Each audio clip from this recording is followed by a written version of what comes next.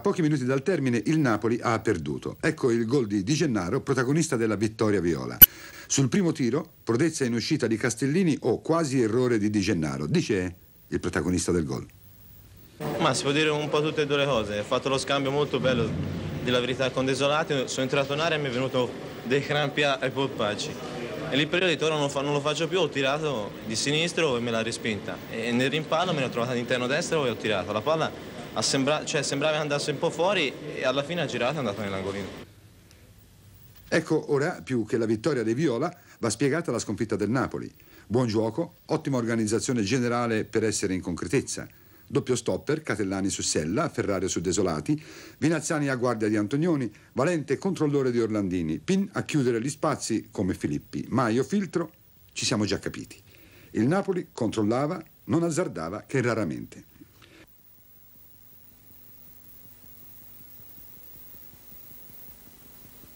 La Fiorentina aveva il torto di portare troppo la palla, di non affondare in area e il Napoli pensava di farcela.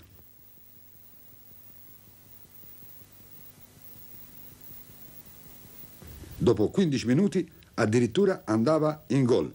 Vinazzani al centro, Galli esce e rientra mentre Savoldi azzecca. Bel gol.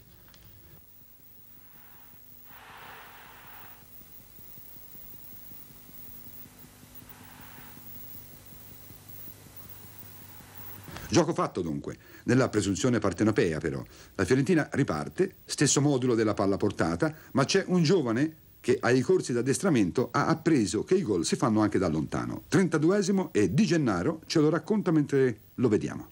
E c'è stato un rimpallo, è venuta la palla al limite, mi sono trovato lì, cioè posizione che mi trovo quasi sempre e ho tirato di prima intenzione e ho messa dentro.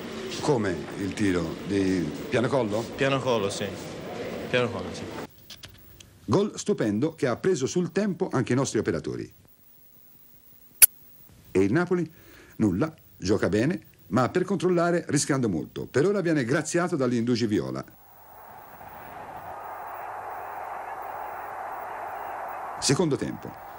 Peggiora sul piano tecnico, ma qualche azzardo il Napoli lo fa perché i viola insistono troppo e tentano il gol con Di Gennaro ancora. Ecco gli impegni di Galli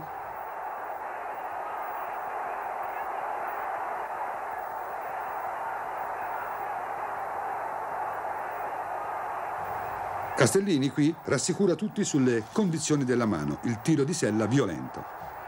E questa è l'unica parata di Galli in 90 minuti, sul tiro di Maio.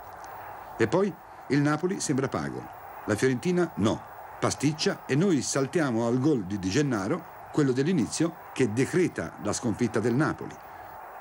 Una Fiorentina meritevole almeno sul piano della volontà e con un centrocampo più solido, sulla buona strada cioè.